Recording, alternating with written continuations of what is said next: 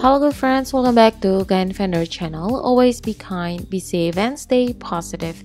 In today's video, we're gonna show you how to change alert sound on your MacBook. So now let's get started. First of all, what you need to do, you need to go to system preferences right here. If you don't find system preferences in the dock like this, you can go to launchpad right here.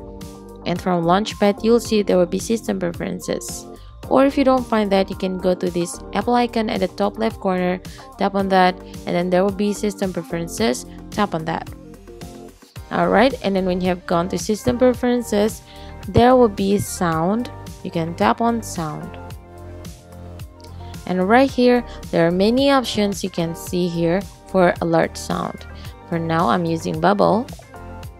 Or if you want to change that maybe you can choose uh, maybe boop breeze, crystal, funky, or heroine, and many things and many more. You can just try one by one that you want. Maybe I'll choose uh, breeze.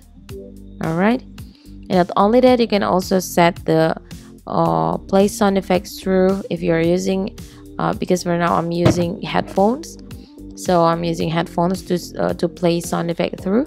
And also you can set the alert volume. And also here there will be play sound on startup if you want to play this sound on startup you can just click this and play user interface sound effects. And also there will be play feedback when volume is changed.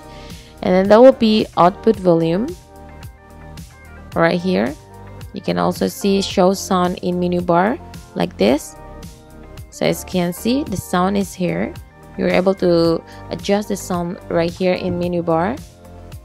And also there will be output input right here. You can uh, as you can see the input I'm using external microphone.